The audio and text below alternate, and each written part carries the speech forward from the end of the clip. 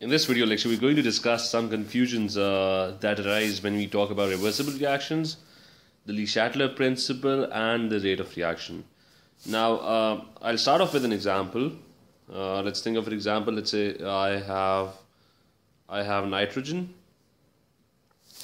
and it is reacting with hydrogen, 3H2, and they're both uh, producing two molecules of NH3 and this is a reversible reaction. And they are all gaseous. So and the enthalpy change for the forward reaction the forward reaction in this case is it is exothermic which means that the reverse reaction would be vice versa it would be endothermic. So this is a reversible reaction. And let's say I, I uh, change the conditions. This reaction is at equilibrium and I decrease temperature. Now I'm decreasing temperature and we've already studied that according to Le Chatelier's principle, if I decrease temperature, then the equilibrium is going to try and do the opposite. It's going to try and increase temperature. And the way it can increase temperature is by favoring the exothermic reaction.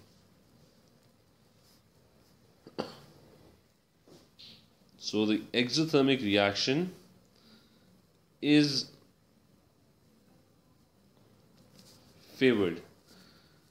Now, uh, in this case, the exothermic reaction is the forward reaction, which also means that uh, it means that the forward reaction is favored.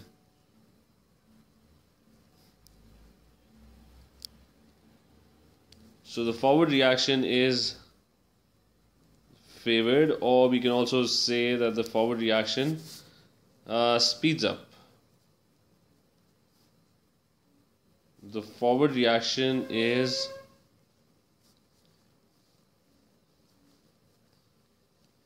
is faster. Now I am using all these uh, terms. Now there's one uh, very major confusion. We also we also write that the that the equilibrium shifts to the right. So our equilibrium in this case shifts to the right. So our equilibrium shifts to the right hand side. So I'm going to use abbreviations.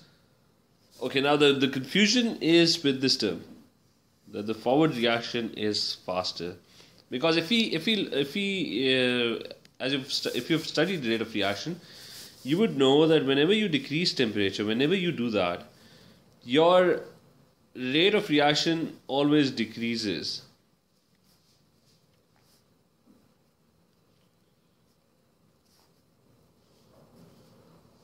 So your rate of reaction is always going to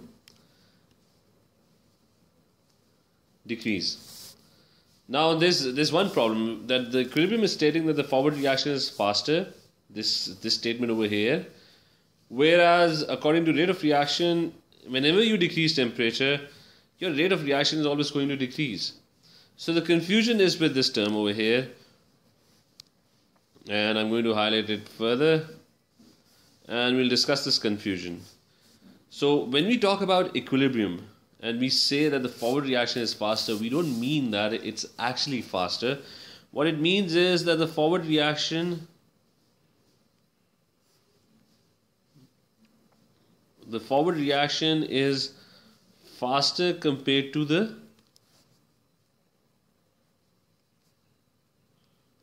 compared to the backward reaction.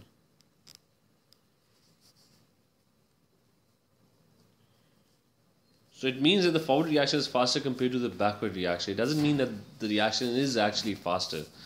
So uh, if I if I if I if we look at this term again,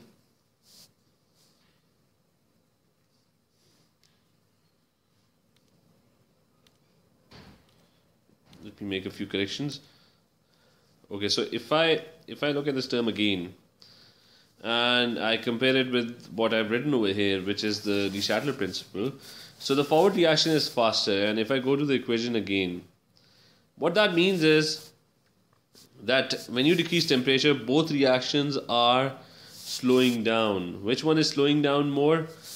The backward reaction is slowing down more, and the forward reaction is slowing down less. And if you compare them, if you compare them with each other, but that would mean that the forward reaction is faster compared to the backward reaction. So this term has nothing to do with the rate of reaction. It's simply comparing the two reactions and it's finding out which of the reaction is faster with respect to each other. So uh, when we decrease temperature, both rates, both forward and backward reactions would slow down. But if you compare the two, which one would be faster? The forward reaction would be faster compared to the backward reaction. So so the Le Chatelier principle has nothing to do with the rate of reaction. The rate of reaction is determined by other factors. What the Le Chatelier principle simply states is that which reaction is favored. Forward, the forward reaction is favored or the backward reaction is favored. If I say the forward reaction is faster, it doesn't mean that it's actually faster. It's simply when you're comparing the forward reaction with the backward reaction, it's faster than the backward reaction the reality might be that the, both both of the reactions might be slowing down, which is in this example. In this example, if I decrease temperature, both reactions would slow down. But if I compare the two, which one would be faster? The forward reaction would be faster, and the equilibrium is going to shift and favor the right hand side because the forward reaction would be faster compared to the backward reaction. I hope this clears your confusion.